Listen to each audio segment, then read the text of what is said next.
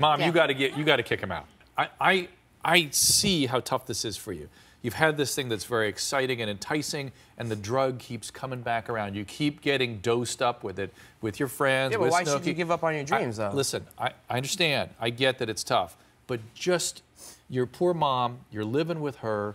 You're fearful. She's fearful that you're going to end up either homeless or stuck in her apartment. I mean, I can get a And- job, but like that's not gonna get me to like where I want to be. You know, I want to live the high life and like working. Yeah, that's that's we fun. get I can that. make subs we, and stuff. we know but that. We know what you want. How long but I gotta work here to be a manager? I'm only 23 for a year. We're fearful that what you want is going to end up in a disaster. Mom, I'm going to give you the last word. What, what do you want to tell? What, what do we, I- how do you get through to your son? Please try. I've been trying and trying. I, I want you to understand that you, even if it's just six months, you need to get.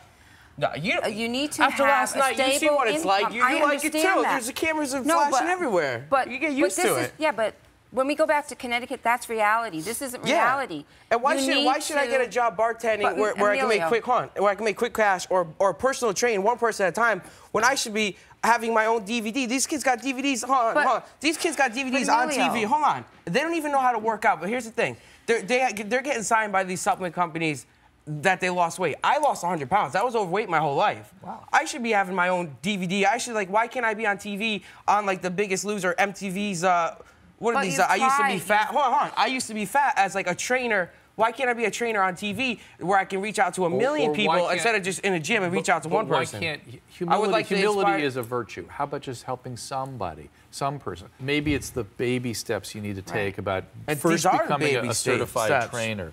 Are you a I- certified trainer? I'm going in a week to become certified. So become a certified trainer. Most trainer. trainers aren't even Go certified. Have it, the experience of helping other people through that experience of being the the. I've already helped tons of people with, through diets and stuff just on my own, just to be a nice person.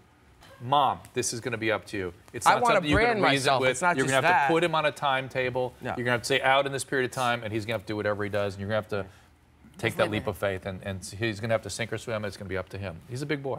Yeah. I know how to think- swim. I think he'll figure it out, but it's It's- not going it's to not happen in your apartment, in your living room.